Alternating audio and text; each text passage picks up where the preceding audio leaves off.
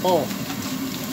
O ito ito na ngayon yung nakuha naming alimasag sa laot. Sariwang sariwa pa, oh, buhay na buhay pa, okay? Oh, tungtong na si Kilwan. Oh. Yan po yung luto na kalalimasag, oh. Hmm, Kaya, ilang kilo kayo? Oh, nakailan siya? Six and a half. Oh, size imedya po. Size imedya ang nakuha ngayon nila Chloe Jean na alimasag sa laot. Size imedya po to.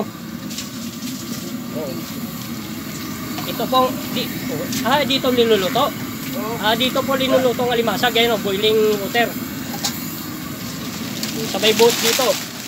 Naka size imedya ngayon si Chloe Jean. Buhay na buhay, sariwang sariwa. oh. Tingnan niyo po. O ito po, ito bl- blue crab to blue crab. Blue crab. Laki. Ito po babae.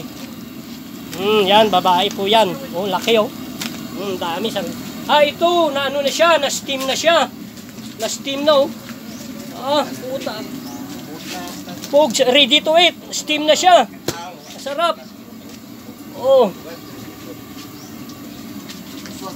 Oh, pila sa bang baligya yato? Pila sa bang baligya ni Kwan? 6.5. O 6.5 tila kay paga pa. 1,332. Ah, 1,000. Ang bin ang binta ngayon ni Toto sa limasag niya 6.5 1,332. 332. Oh. Iyan, dalawang oras lang yan sa laot.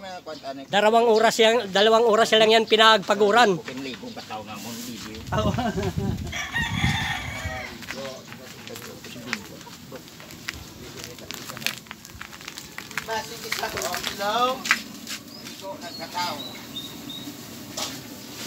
Ah, Ready to eat.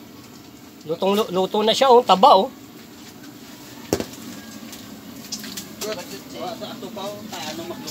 Hmm. Ito, eh, binuboiled ang alimasag. Pila ni ka oras ang boiled sini? Pila na- may oras na eh? Pila ka oras? 10 minutes ah. Oh, interview ta ka. Ah. Lang. Sampung oras lang po to ang boiled nito ng alimasag. May oras po to eh. Para hindi siya mahirap siksikin. Ito po yung ginagawang crab meat. Crab meat. Hmm. Sampung minuto lang. Okay, thank you. Na siya si Oh, laki ng isda oh. Oh, ayan po. Tawagan kita mo eh.